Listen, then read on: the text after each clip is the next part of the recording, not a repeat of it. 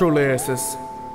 I'm the last of the flow heekins, so dope even. Most of these no flow heathens won't believe it, so I'ma leave throats bleeding. And most of these haters have no reason to dislike me. They just like hitting that dislike button. They're so steaming, mad I'm cheesing like a like Jesus. This kid is walking around with a leaking bag of fetuses with bloody hands, eating flaming hot Cheeto chips with cheetah spits. Never plead the fifth. I speak and rip a feature up like Jesus. What's this kid's formula? He's thinking up. I tell him it's similar to there's no wrong way to eat a Reese's cup. I speak with such a versatile, open, creative, deep and tough, sleek but rough, natural reefer puff of smoke, no leaving it up to the weaker amounts of these people, and they need to give it up because I'm eating them up like I can never eat them enough. I'm the type of rapper that makes you believe you have a reason to cuss. Like what makes you think you're ready to listen to this lyricist my breathe? It's a rush. Please give it up.